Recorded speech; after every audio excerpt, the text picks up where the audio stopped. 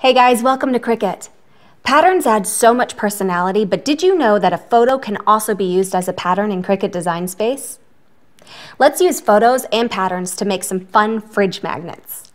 All we need are these great Cricut magnet sheets. The magnet is white on one side, so it will work for the print then cut, with the magnet on the opposite side. Open Cricut Design Space, make sure you're logged in, then click on Create New Project.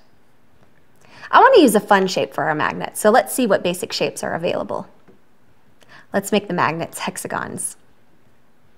We'll use the Edit panel to size the magnets 3.5 inches wide. I want the magnets to feel as though they have a frame, so let's copy the image and then paste to duplicate. Now size the new hexagon to 3 inches wide. We'll want the smaller hexagon to be centered on the larger hexagon. Cricut makes this easy. Click on Select All Open the Align menu, and then just select Center. Done. This is the perfect shape for our magnets. Now all we have to do is add a photo to the center and a pattern to create a frame. So let's upload an image.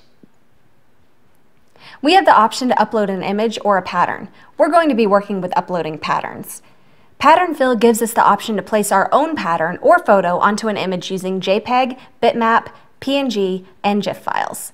To get started, we'll click on Upload Pattern. Now let's click Browse to access our computer files. We'll be using a photo, so find your file and then just click Open. Name the photo and select themes, styles, and colors that apply to the photo. Now in this case, I'm just selecting photo, but checking multiple tags may make it easier to find images in the future. Now save the file. You'll be taken back to the uploaded images library and a message will inform you that the files have been saved successfully. Click Cancel to close the library.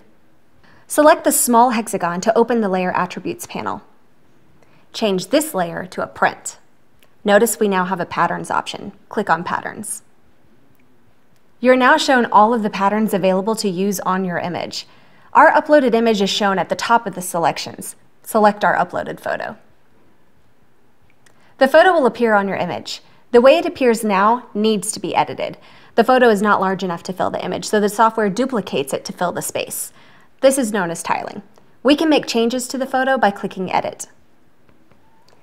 We now have options to scale the photo. And don't worry if the photo looks blurry on the screen, the software shows the image in low resolution. When we print the image, the photo will print in high resolution. Scale the photo using the arrows or the slider.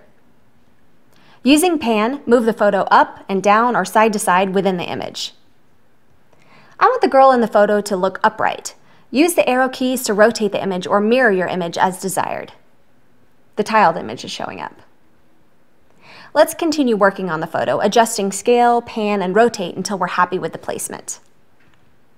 Clicking inside the design screen will close the Layer Attributes panel. Now let's add a pattern to the frame.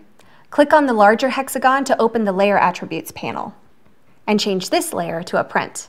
Notice again, we now have a Patterns option. Click on Patterns. Scroll through Patterns or select a collection to filter or narrow down the options. Collections give options based on tags. Filters give options based on ownership or color. Let's see what's available under Brown.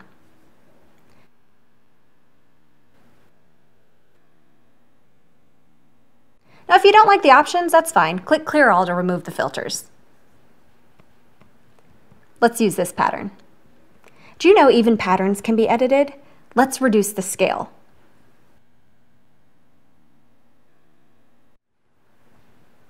Once we're happy with our edits, click on the design screen to close the layer attribute panel. You can make as many different magnets as you'd like. Simply duplicate the images and then change the photo. It's so easy. The last step in our design is to make each magnet a single print, then cut image. Select the background and the picture, and in the Layers panel, click Flatten. Repeat for each magnet. Once you're happy with the project, click Save, name the file, then click Save again. Now we're ready to cut our project. If everything looks good to you on the mat preview, go ahead and click Go. Place the magnet sheet into your printer and then print the page. Set the material dial on your machine to custom and then select magnet sheet. Place your printed magnet sheet on the mat and then load the mat into your machine. Press the blinking go button on your machine to begin the cut. Once the cut is finished, we now have our own personalized magnets. Stay tuned for the next video in our tutorial series where I'll teach you how to combine two images together to create a fun t-shirt. Cricut makes it easy to go from inspiration to creation.